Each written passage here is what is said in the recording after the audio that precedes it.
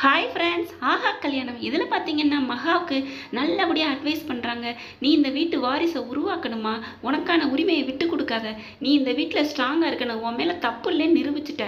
அப்படின்னு சொல்லி அலங்காரம் பண்ணி நீ ஃபர்ஸ்ட் நைட்டுக்கு போ அப்படின்னு சொல்லி அனுப்பி வைக்கிறாங்க நம்ம காயத்ரி. சூர்யா அவங்க அம்மா என்ன பண்ணுறாங்க டேய் நீ கொஞ்சம் கூட விட்டு கொடுத்துறாடா உனக்கு எப்போவுமே நீ எதுலேயுமே தோத்ததில்லை. நீ இப்போ தான் சொல்கிற அவள் கல்யாணத்தில் உன்னை சீட்டிங் பண்ணி தான் உன்னை கல்யாணம் பண்ணியிருக்கா.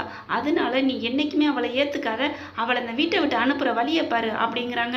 ஆமாம்மா அதாம்மா எனக்கும் அவளை பிடிக்கலம்மா அப்படின்னு சொல்லிட்டு ரூமுக்கு வர்றாங்க. ரூமுக்கு வந்து முறைச்சு பார்த்துட்டே இருக்காங்களா சூர்யா? மகா அப்படியே ஷாக் ஆகுறாங்க. என்ன பாலோட வந்திருக்கிறா? ஃபர்ஸ்ட் நைட்டுக்கு ஆசையாக வந்திருப்பாளோ அப்படிங்கிற மாதிரி பார்க்குறாங்க. ஏன் சார்? நான் தான் ஒரு தப்பு இல்லைன்னு நான் நிரூபிச்சிட்டேனே. அப்புறம் ஏன் இன்னும் என்னை பிடிக்கல உங்களுக்கு? அப்படிங்கிறாங்க நம்ம மகா. உன்னை பார்த்தாலே என்ன கண்ணாடியில் பார்த்துக்கிற மாதிரியே இருக்குது என்னோட ஆக்டிவேஷன் எல்லாமே நான் எப்படி இருக்கணும் அதே மாதிரி இருக்கு. அதனால உன்னை எனக்கு பிடிக்கல அப்படிங்கிறாரு சூர்யா. என்ன உங்களுக்கு பிடிக்கும் சார்? உங்கள் மனசில் நான் இருக்கேன்னு நீங்கள் சொல்ல வருவீங்க அப்படின்னு சொல்லிட்டு பாலை கொடுத்துட்டு குடிங்க அப்படின்னு சொல்லிட்டு போயிடுறாங்க. சூர்யா என்ன பண்ணுறாரு பாலை கொட்டி இப்படி அப்படி யோசிச்சுட்டு உட்காந்துருக்காங்க இவளை எப்படி வெளியில் அனுப்பலாம் அப்படின்னுட்டு இதையெல்லாம் கவனிக்கிறாங்க காயத்ரி. அவங்க பையன்கிட்ட போய் சொல்கிறாங்க டே உன் அண்ணியை சேர்த்து வைக்கணும்டா. பிரச்சனை முடிஞ்சிச்சுன்னு நினைக்காத. அவங்க ரெண்டு பேரும் இன்னும் சந்தோஷமா இல்லை ஒத்துமே இல்லை அப்படிங்கிறாங்க. கண்டிப்பாக சேர்த்து வைப்போம்மா அப்படிங்கிறாரு. காலையில் காப்பி கொண்டு வராங்க மகா. என்ன ராத்திரி நான் சொன்னதை பூரா நினச்சி நினச்சி அழுதியா? மூஞ்சியில் வீங்கி போயிருக்கே. நீ ஏன் கஷ்டப்படுற? இந்த வீட்டை விட்டு நீ ஏன் ஓடி போயிரு அப்படிங்கிறாங்க. நான் ஏன் சார் போகிறேன் அதெல்லாம் நான் போக மாட்டேன் அப்படின்னு சொல்லிட்டு இந்தாங்க காப்பியை குடிங்க அப்படின்ட்டு கிளம்பி போகிறாங்க வெளியில் வர்ற மகள்கிட்ட அங்கே வேலைக்கார பொண்ணு சொல்கிறாங்க பிளம்பர் வரணுமா தண்ணி வரலையம்மா அப்படிங்கிறாங்க. ஐயோ சூர்யா சார் குளிக்க போனாரே அப்படின்ட்டு சார் சார் குளிக்காதீங்க அப்படின்னு வேகமாக கதவை தட்டுறாங்க.